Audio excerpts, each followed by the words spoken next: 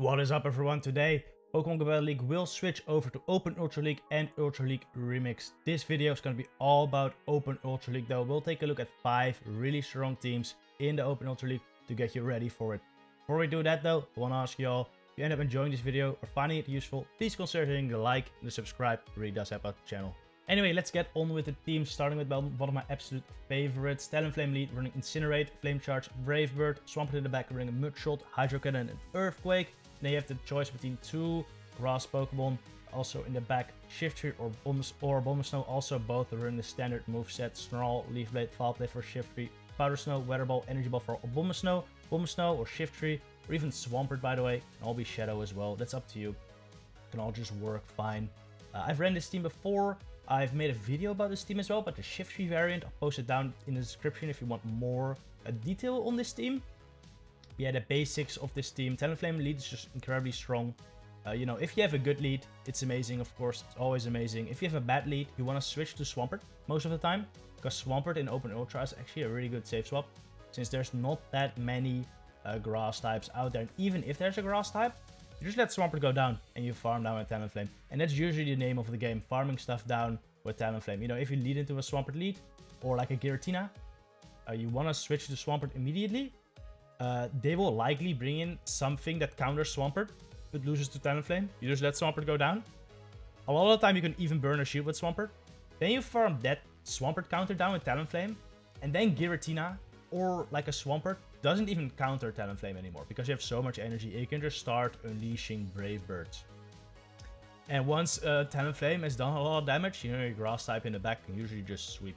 And that's how this works. As you can see, this team does have two XL Pokemon, the Talonflame and the Grass type. Uh, will have to be XL, which of course for players under level 40 is not ideal. Uh, just hold on. Later in the video, we will have some teams without any XL Pokemon. Next team is a double fire team, which takes advantage of Talonflame's huge closing power.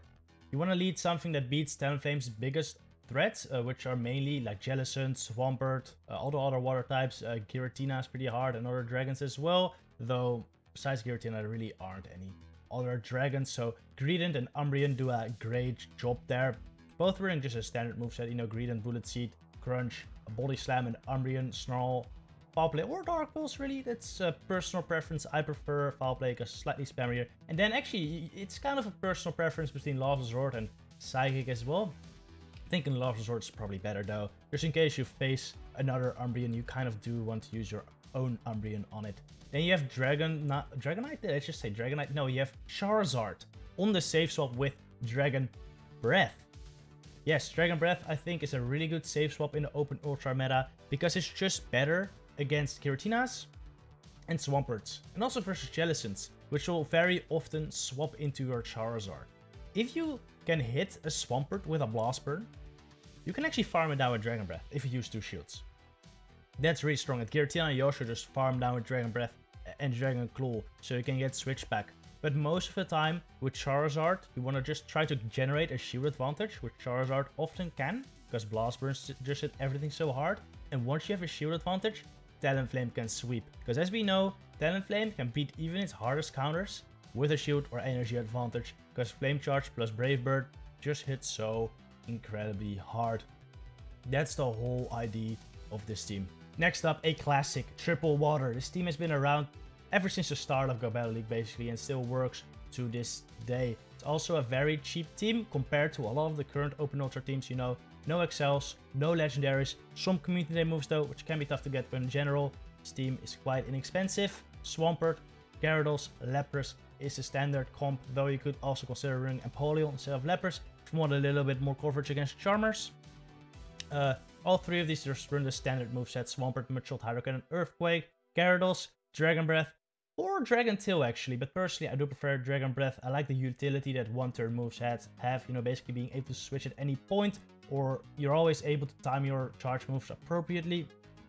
It's really nice, so I would go Dragon Breath, Aqua Tail, Crunch, and Lapras, Ice Shard, Surf, Ice Beam, Orphe Ring, Empoleon, Waterfall, Hydro Cannon, and then Drill Peck or Blizzard is kind of a debate, uh, personal preference. Uh, I would say you can run this team with Lapras lead or Swampert lead or even Gyarados lead. Personally, I would do Swampert or Lapras lead though, depending on, on what on if you're seeing like Steel leads or or Dragon Leads. Uh, but then Gyarados is, is your safe swap uh, at all times. It's just a very solid uh, generalist that can usually take shields even from its hardest counters.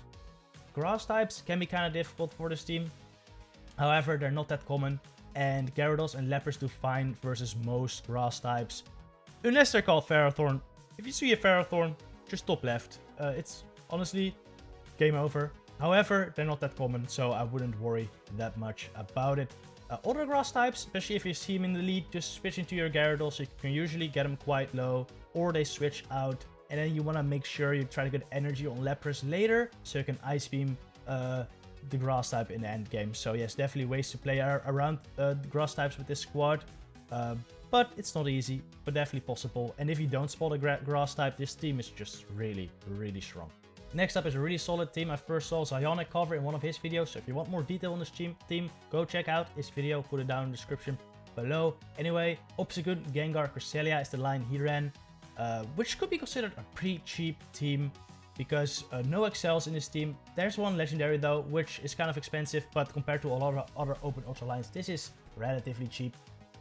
You could also consider going Scrafty in the lead instead of Obstagoon, uh, which helps a lot versus opposing Scrafties, and also versus opposing Obstagoons, because of course a Scrafty is way better versus Obstagoon than Obstagoon is uh, versus Scrafty. Uh, also Pokemon are just running the standard move sets, you know, Obstagoon, uh, Counter, Night Slash, and I guess the second move is kind of up to you. I would go Cross Chop though, because it's better versus like an Umbreon. Scrafty, Counter, Power Up Punch, Foul Play, Gengar, Shadow Punch, Shadow Ball, and Shadow Claw's Fast Move, and Cresselia, Psycho Cut, Grass Knot, and Moonblast. Uh, is probably what you want to run. Now, the workings of these teams are Fallout. You just want to set up Gengar to sweep, basically. You either want to get shields down, or you want to lure out the Dark type. If you if you don't see a Dark type in the lead, you always want to switch to Cresselia at some point. You want to save your Obstagoon or Scrafty to take out the Dark type later. Because Gengar and Cresselia both struggle, of course. So you want to save swap your Cresselia, hopefully lure out the Dark type, and once the Dark type is gone, and you can maybe even burn a shield with Cresselia, because Moonblast do it for super effective damage, Gengar can just sweep, which is awesome. Besides that, its team works really well, because all three of these Pokemon cover some really meta Pokemon really well. Like Giratina gets triple countered by this team. Cresselia has some good answers too. Swampert gets kind of destroyed by Cresselia and Obstagoon and Scrafty also do fine. So in general, it's a very, very strong team. And if you can set up Gengar really well, it can just sweep all teams, which is awesome. Final team is actually a team I wouldn't really recommend you to run. I just want you to be aware of it. This team has been around since the beginning of time, basically. Giratina, Registeel, Swampert.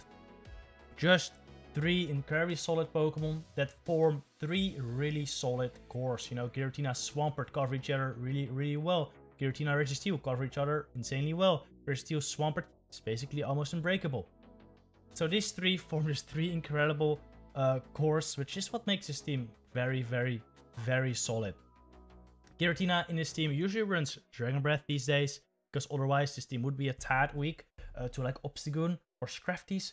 Uh, but with Dragon Breath, those matchups are really fine for Giratina, even though it does have the type at disadvantage. I mean, that's just Giratina for ya.